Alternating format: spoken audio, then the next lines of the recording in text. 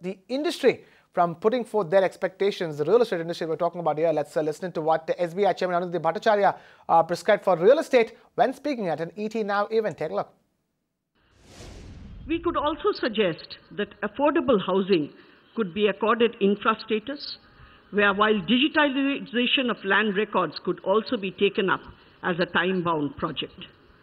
In all, we do believe that this budget provides an opportunity for actually bringing in multiple reforms that are now very much required.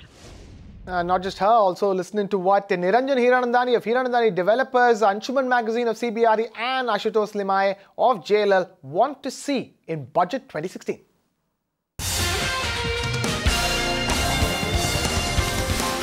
Person who buys a house are in installment because he can't afford to buy a house which is ready has to pay service tax.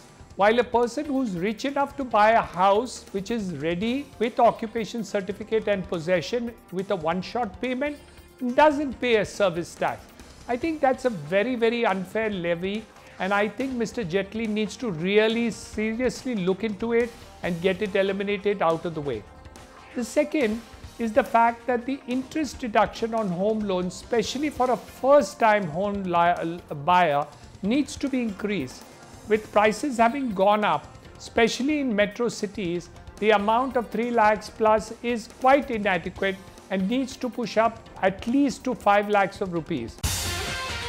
What the budget can do is give fiscal incentives, interest rates, reduce the cost of money, bring in long long-term funds uh, will make a big difference to the uh, to the budget. The second is, of course, is uh, the previous budget had announced REITs, uh, which is a fantastic, uh, you know, uh, structure, financial structure. We can really help the industry. Now there's the issue of dividend distribution tax. If the government looks at, re-looks at the tax, it will encourage REIT structures to come in, and I think they'll make a big difference to the real estate industry. Two main areas. One on the REITs side, uh, uh, successful uh, solution to the DDT bottleneck and on the housing and residential side more thrust and outlays for infrastructure to open up more land especially in the fringe areas and uh, encouragement to private sector to build affordable housing to achieve uh, the, the vision of housing for all for everybody by 2022. So those are uh, the main expectations from this year's budget.